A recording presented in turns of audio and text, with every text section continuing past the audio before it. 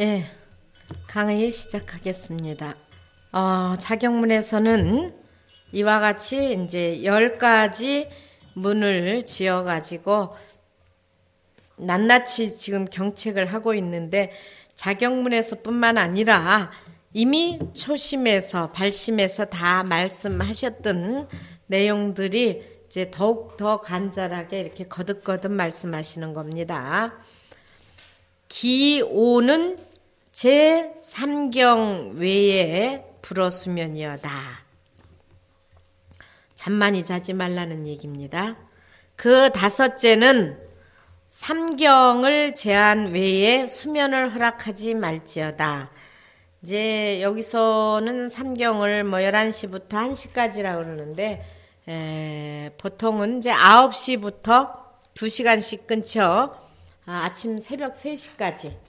그래서 절에 이제 삼경종이라는 것은 9시부터 새벽 3시까지를 삼경이라고 그럽니다. 그래서 삼경을 제한 외에 수면을 허락지 말지어다.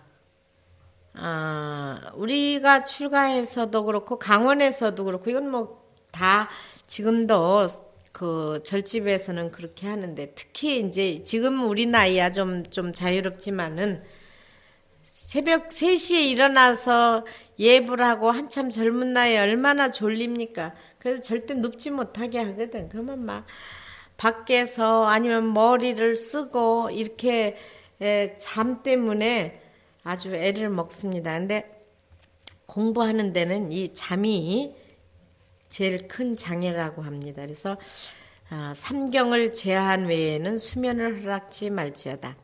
광겁장도는 수마막대니 광겁 겁이라는 것은 아주 오랜 세월이죠. 그러니까 오랜 세월 동안 도를 장애하는 것은 수마막대. 잠마구니보다 더 큰 것이 없다. 잠을 마구니라고 붙였어. 내 마음을 다 뭐 흐리게 하죠. 그래서 광겁장도는 수마막대니 이륙시 중에 이륙 12 하루 가운데에 성성기의 불매하며 성 깨고 깨어 있어서 의심을 일으켜 매하지 말며 흐리게 하지 말라 그런 얘기예요. 어, 사위위내 사위라는 것은 행주 좌와 아, 다니거나 앉거나 눕거나 머물거나 사위의 거동 가운데에 밀밀회광이 자가나라. 빽빽히 아주 시간 시간 어, 원효 스님이 시시하야 그랬죠. 시간 시간 에, 빛을 돌이켜서 스스로를 보라. 회광 반조하라 그런 얘기가 있습니다. 빛을 돌이켜 스스로를 비추어 봐라. 일생을 공과하면 만겁의 추안이니 일생을 헛되이 보내면 역시 원효 스님이 다 말씀하셨던 그 내용이죠. 일생을 공과하면 만겁의 추안이니 한이 따르니 무상은 찰나라 항상함이 없는 것은 찰나란 말이에요. 그렇죠? 수만 번 들여 마시고 내뿜지 못하면 저 세상이야. 항상함이 없는 것은 찰나라. 이에 일일이 경포. 이에 나날이 놀래고 두려워할 일이요. 여러분들이 내일 모레 죽는다고 생각해봐요. 오늘 하루 가면 이게 얼마나 놀래고 죽을 일인가. 조금 시간을 좀 여유가 있다고 지금 느긋하게 해서 그렇지. 하루가 가면 하루 죽음의 문턱으로 사실은 가는 거야. 그렇죠? 그러니까 이에 나날이 놀래고 두려워할 일이요. 인명은 수유라. 사람의 목숨은 수유, 잠깐이라. 음, 수유를 잠깐이라는 겁니다. 어, 찰나, 수유 이런 것은 아주 그 눈 한번 깜짝이는 시간을 얘기하는 겁니다. 사람의 목숨은 수유 잠깐이라 실시시 불본이라. 실로 때때로 보전치 못하나니라. 어느 때에 병이 들지? 어, 작년 이맘때 요 마을에 어떤 분이 밭에 갔다가 추석 전이지 추석 전에 배추 심을 때니까 산에 가서 버섯 따다가 어, 또 해마다 따먹는 버섯들이래. 그런데도 거기에 잘못 한번 해가지고 독버섯이 섞였나 봐. 그 버섯을 잘못 먹어가지고 밭에서 일하고 그날도 정말 어, 내가 돌아오는 걸 봤는데 이제 덥고 그러니까 저녁에 이제 버섯 먹고 그랬는데 한 3일 만에 돌아가셨어요. 그러니까 우리 주위에서도 여러분들 많이 보잖아. 금방 멀쩡하던 사람이 버섯 하나 잘못 먹으면 가는 거야. 수만 번 모시면 가는 거야, 우리가. 이게 이제 글로 보니까 우리가 아이고 이건 내일이 아니구나 그렇지 누가 금방 그렇게 갈 줄을 누가 알겠어요. 그래서 실로 때때로 이 몸뚱아리는 보전치 못하나니라. 양미 투조관인데 앞에서 투조관 얘기 나왔죠. 천보불이 투조관 하리라. 만약에 조사의 관문을 뚫지 못하면 어째서 달마대사가 동쪽으로 어, 오신 뜻이 뭡니까? 그러니까 뜰 앞에 잣나무라고 했을까? 하는 이런 화두. 조사가 아, 묻는 화두. 이러한 조사의 관문을 뚫지 못한다면 여와 안수면이리요. 어찌 편안히 수면 잠을 자리요. 공부하는데 잠자는 게 그렇게 아주 큰 장애가 돼서 오죽하면 마군이라 그래. 우리는 잠자는 게 마군이라 그러고 번뇌가 마군이라 그러고 어, 또 음마 애욕이 예, 마군이라고 그래. 공부하는 데는 에, 부처님 당시에 에, 안이루다 부처님의 10대 제자 가운데 천안제일이죠. 부처님 법문을 하는데도 줘라. 예? 안 이뤘다가. 그러니까 우리는 뭐 말할 것도 없지. 사실은. 부처님이 법을 설하시는데 안 이뤘다가 꾸벅꾸벅 졸고 있었어. 그러니까 부처님이 안 이뤘다야. 너는 생사가 급한데 나고 죽는 것이 급한데 어떻게 그렇게 졸고 있단 말이냐. 꾸짖었어요. 그러니까 안 이뤘다가 자리에서 일어나서 제가 이제 깨닫기 전에는 절대 졸지 않겠습니다. 이렇게 부처님 전에 맹세를 했어. 부처님이 그렇게 말씀을 드리고 안 이뤘다는 아주 열심히 정진을 하는 거야. 잠을 자주 했는데 이 몸뚱아리라는 건 잠을 좀 자주 해지 되거든. 근데 잠을 안 자는 거야. 그러니까 우리가 한 3일만 잠을 안 자도 눈에 진물이 나지 눈이 뻘겋잖아. 한 이틀만 안 자도. 그러니까 눈이 뻘겋고 충혈이 되고 그다음 진물이 나고 막 그러는 거예요. 그 옆에 있던 이제 스님들이 아 부처님이시 아니루다의 눈이 말하자면 충혈이 되고 진물었습니다. 그래서 부처님이 의사를 보내 예? 좀 치료 좀 해주라고. 그래서 부처님이 이제 의사를 보내서 아니루따를 눈을 살피도록 하니까 의사가 하는 말이 아니루따의 눈은 어떤 약으로도 치료할 수가 없습니다. 잠을 자줘야 치료가 됩니다. 아니루따는 난 깨닫기 전에는 잠을 잘 수가 없다. 그래서 아니루따는 아, 결국 눈을 멉니다만 마음의 눈을 뜹니다. 그렇게 공부를 해가지고.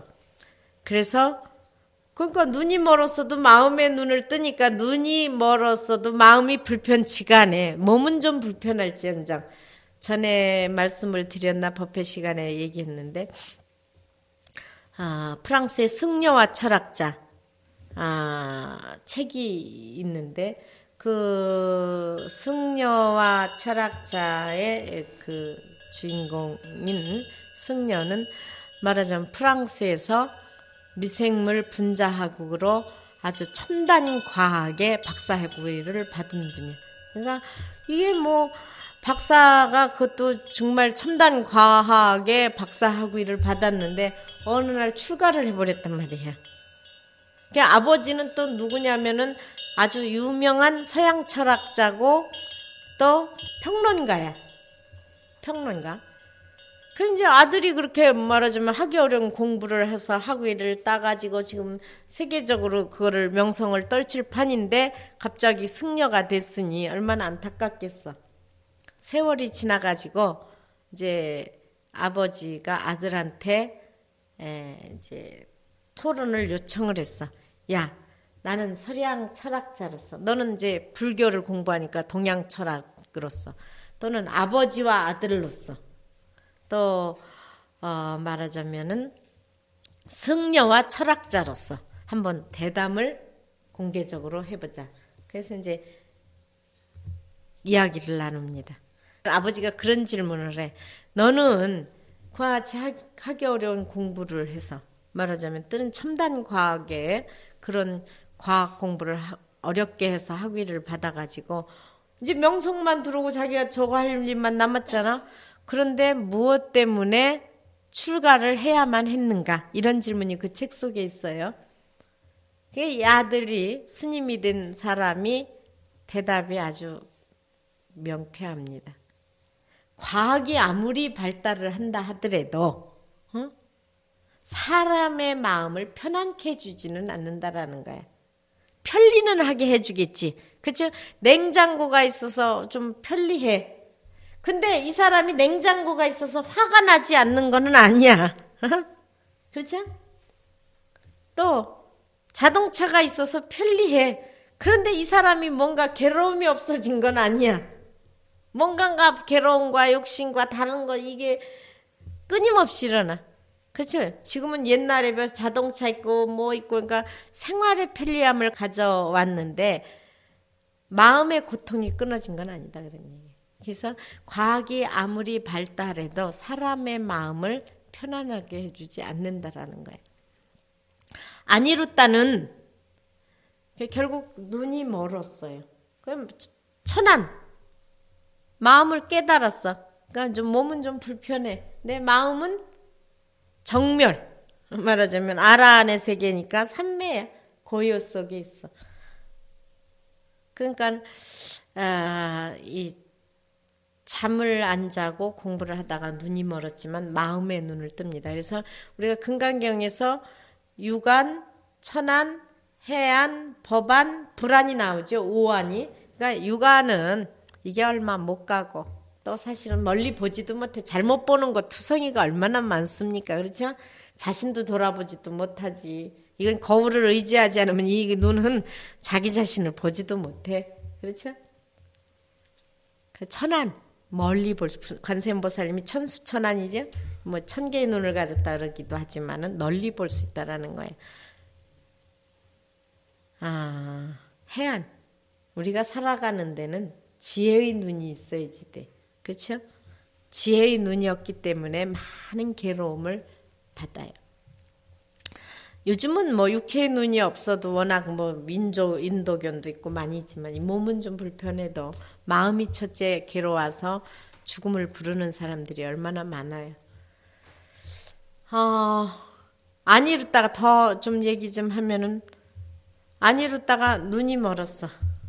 뭐라고 그래요? 여기 이제 보식 얘기 많이 나왔는데 안 이뤘다가 어느 날 이제 바느질을 해지돼 이렇게 누더기 꼬매 입으니까 항상 바느질을 해지 되는데 뭐라고 말하느냐 난 이 대목이 참 재미있어 그런 걸 보면은 참 아, 실감 나는 그런 부처님 당시에 그런 모습이 그림이 그려져 안 이뤘다가 아 누구 어, 복을 짓고 싶은 사람은 나한테 바늘기를 껴줬으면 좋겠네 이렇게 얘기를 해.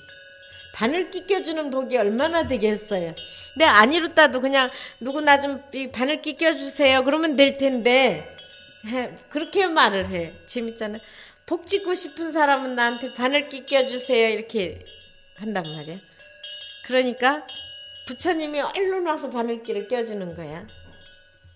안 이뤘다가 아니 부처님은 인천의 복을 갖추신 분인데 그렇잖아요. 복이 얼마나 많으신 분인데 무슨 복을 또 지으시려고 이 바늘기 껴주는 복을 짓느냐고 부처님이 말씀하시기를 중생들이 복이 없어서 나는 그 중생들을 복을 나눠주기 위해서 내 복 짓는 일은 그침이 없나니라 그러셔. 그래서 저도 오늘 부처님의 복으로 이렇게 살잖아요. 어? 부처님 앞에 갖다 놓는 걸 나는 얻었어. 나한테 안 갖다 줘. 다 부처님 앞에 갖다 주지. 그죠? 난 그거 갖다 쓰는 거야.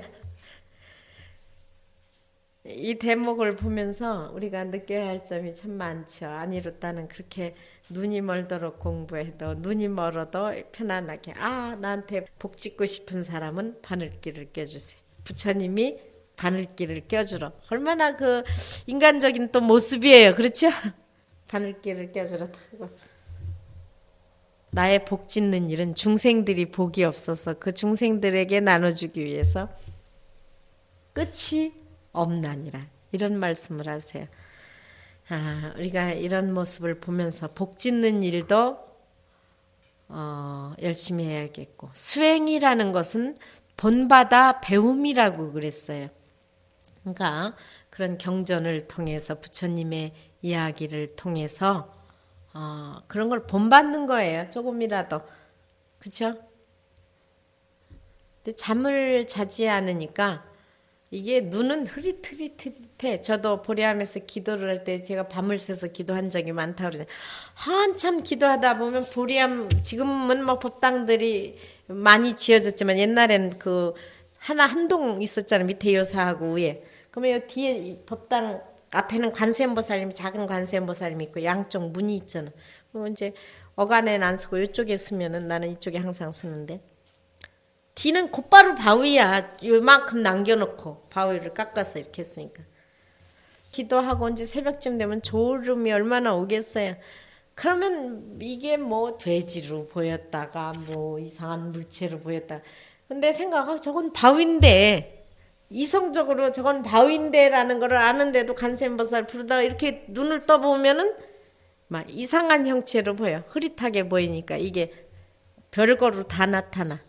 그 이제 공부하다 보면 그런 경계들이 여러 가지로 나타나는데 일단 그래도 그때 그렇게 기도한 힘이 오늘날의 나를 지탱을 시킨 거야. 잠을 안 자고 기도를 한 힘이 저를 포교하게 했고 여러분을 만나게 했고 나를 오늘날 이렇게 그나마도 부처님 법을 전할 수 있도록 그때 그렇게 간절히 기도하지 않았으면 잠을 안 자고 저는 어, 우리나라 산천에 밤을 안 새운 곳이 없을 정도로 많이 기도쳤어요. 다 밤을 샜어요. 기도했어요. 이렇게. 그 잠을 많이 자지 마라. 송해 가로대 수사울롱 심어람 하니 행인도차 진미정이로다. 잠뱀이 수사 잠뱀이라고 그래요. 이게 스르르 온단 말이에요. 잠이 스르르 온다 그러죠? 뱀이 스르르 온다. 그래서 잠뱀이라고 그랬어. 자기도 모르게 스르르 와버렸어. 잠뱀이 구름처럼 롱 바구니처럼 나를 꽉 쌌단 말이에요. 흐릿하게 이렇게 구름이 이렇게 감싸듯이. 잠뱀이 구름처럼 이렇게 가려가지고 용이 구름을 품어서 왜 산에 보면 이렇게 모이죠? 잠뱀이 구름처럼 가려서 마음 딸을 암 어둡게 하니 내 마음이 성성역력해지되는데 나도 모르게 그냥 슬그머니 가버렸단 말이야. 내가 공부를 하는지 법문을 듣는지 그 내 마음을 잃어버렸어. 어, 오죽하면 이 수마라는 게 굉장한 거야. 세상에 자기 살을 잘라도 몰라. 우리가 왜 그거 보고 뭐라 마취시키면. 수면 내시경. 여기다 뭐를 집어넣고 내시경을 해도 몰라. 그만만큼. 이게. 그니 죽인들 알겠어요. 네? 수사. 잠뱀이 구름처럼 쌓여서 가려서 마음딸을 어둡게 하니 행인도차 진미정이로다. 행하는 사람이 이에 이르르면 길을 잃어버림이로다. 다. 내가 공부해야지 되고 내가 깨달음으로 나아가야지 되는데 뭐 깨달음이 어딨어 화두가 어딨어 어디로 가는지도 몰라 그냥 꿈 따라 여기저기 헤맬 뿐이지 공부가 간절하면 우리가 이제 초심을 외울 때 그런 얘기를 했어요. 이제 초심을 공부하잖아. 누우면은 이 천장에 초심이 다 나타나야지 된다 그랬어. 초신글이 이게 이게 책을 덮어도 여기 그냥 요 본 게 요 위에 천장에 그대로 다 이렇게 나와야지 된다 그랬어. 사실은 그렇죠. 우리가 간절한 거는 눈 감아도 보이는 거야. 지금도 웬만하면 저는 이렇게 눈을 감으면 뭐 생각이감 같은 것들이 나오죠. 근데 이, 이 눈을 감아도 이 글이 여기 천장에 다 보여서 그냥 외워야지 된다라는 거예요. 응? 그 다음에 화두가 간절하면은 꿈속에서도 나타나야지 된다 그래. 여러분들이 뭐가 간절하면 꿈에도 그 마음이 나타나잖아요. 그러니까 몽교 일여라고 그래. 꿈이나 깨어 있을 때나 일여해야지 된다. 근데 그렇게까지는 안다는데도 이렇게 법문하는 데도 좋은다거나 뭐 어? 경을 보면서 졸고 있다거나 연부를 하면서 졸고 있다거나 이거는 아니죠. 그렇지? 정신을 바짝 차려야지 돼. 도닦는 수행하는 사람이 이, 이에 이르르면 이에 이르른다라는 것은 잠이 스르르 오는 데에 이르르게 되면 진미정이로다. 다 길을 미함이로다.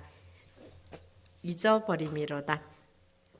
개중연기 치몰이 하면 이낮 가운데 이 가운데에 염기 잡을 염자입니다. 염자 손수변이죠. 어, 치몰이를 잡아 일으키면 치몰이라는 것은 이렇게 그냥 스치기만 해도 베어져. 어? 이게 머리털을 이렇게 훅 불 칼이 싹 바람 불면 그냥 베어지듯이 아주 날카롭기가 그냥 이렇게 스치기만 해도 머리털을 스치기만 해도 다 베어져. 어? 그렇게 날카로운 칼을 치몰이라고 그래. 그러니까 아, 그 예리하고 그냥 획 바람만 일으켜도 다 베어지는 칼. 그러니까 그렇게 날카로운 칼을 얘기하는 겁니다. 지혜의 칼을 치몰이라고 그래.